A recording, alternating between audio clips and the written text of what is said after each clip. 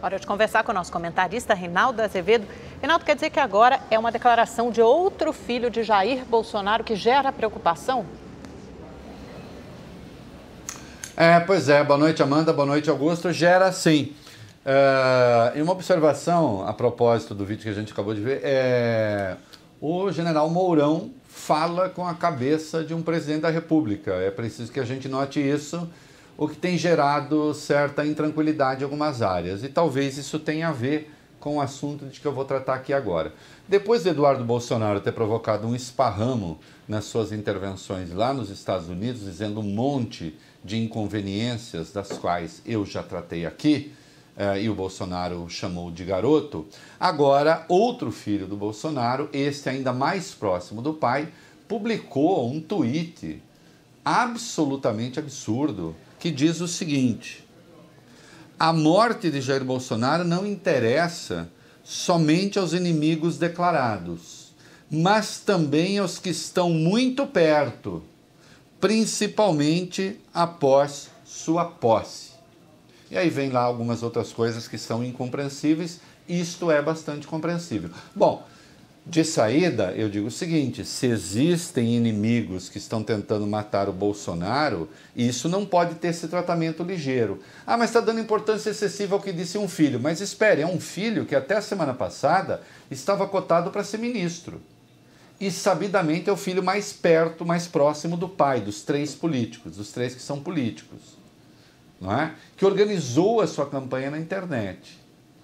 Então, se fosse uma referência só a inimigos, já seria uma coisa grave, que não merece esse tratamento ligeiro. E em existindo essas pessoas que estão tramando a morte do presidente ou pensando não sei o quê, essas pessoas então têm de receber o devido tratamento legal.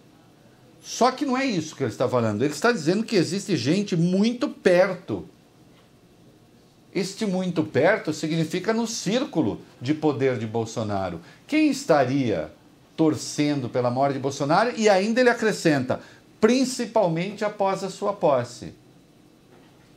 Olha, meus queridos, eu não faço política, eu não sou militante político, eu sou jornalista, eu sou analista político. Como jornalista, como analista político, e mais do que isso, como quem passou 10 anos dando aula de texto e de interpretação de texto, Evidentemente, há um recado velado aqui ao vice-presidente eleito, Hamilton Mourão. O que é um absurdo. Porque do Mourão pode-se falar isso, aquilo, contra o vice, mas ele, digamos assim, quebrou lanças para apoiar a candidatura do Bolsonaro, aliás, de modo até inconveniente, quando ainda estava na ativa. E depois disso, tem sido um fiel defensor da causa. Ocorre que, com efeito, ele tem uma cabeça, digamos, mais presidencial do que o próprio titular, porque ele domina um maior número de assuntos e porque tem uma formação intelectual também bastante superior, que é própria, aliás, de um general de exército, que é o topo da carreira no exército, um general quatro estrelas. Também causa espécie que o Bolsonaro, ouvido sobre essa declaração, acabou endossando, dizendo: é, de fato, existem muitas pessoas, existem muitas pessoas que estão interessadas na minha morte, que o governo nem começou. Se há interesses que vão ser contrariados, ainda não foram. Então convém que esse tipo de declaração fique fora do jogo político. Nós já temos problemas o suficiente. Nós não precisamos desse tipo de abordagem, especialmente quando vem do entorno do presidente da República. Na verdade, essa, é, esse texto do Carlos Bolsonaro deveria ter sido repudiado, esse tipo de mensagem deveria, tanto quanto possível, ser eliminada da internet. É preciso parar com isso. Isso não cria um ambiente que colabore para a paz política. É isso aí. Boa noite.